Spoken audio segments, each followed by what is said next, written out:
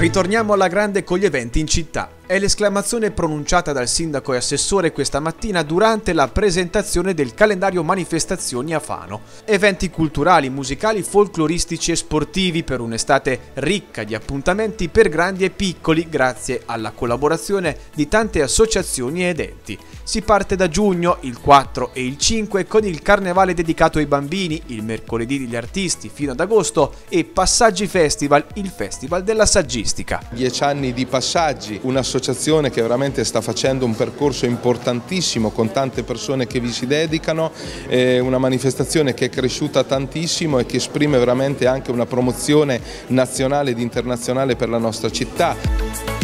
Luglio sarà contraddistinto dal palio delle contrade in centro storico, ma anche di tanta musica con la trentesima edizione di Fano Jazz by the Sea, il Festival della Fortuna alla Rocca Malatestiana, per continuare poi con il grande evento della Fano dei Cesari dal 14 al 17 luglio. Vogliamo riportare la corsa delle bicche già da questa edizione, visto che eh, insomma, avevamo programmato una manifestazione eh, diciamo così, più piccola a causa della pandemia, ma credo che le condizioni ci siano per, ripensare la manifestazione come era già nel 2018.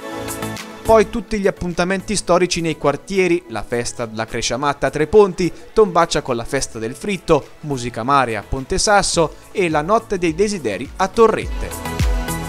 Il mese di agosto aprirà con la tradizionale festa del mare, l'11 invece il grande ritorno di Ingir per Fan, il tour enogastronomico per le vie della città, a Bellocchi dal 18 al 21 il paese dei balocchi, mentre la fiera di San Bartolomeo, in programma dal 24 al 26 agosto, vedrà una nuova location.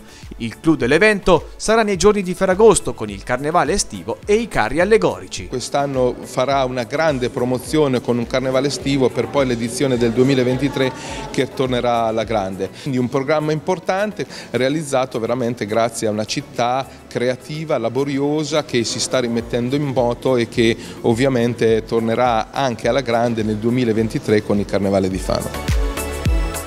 A chiudere il calendario estivo sarà dal 9 all'11 settembre il Brodetto Feste sul lungomare del Lido e la Festa dei Fiori il 23 settembre.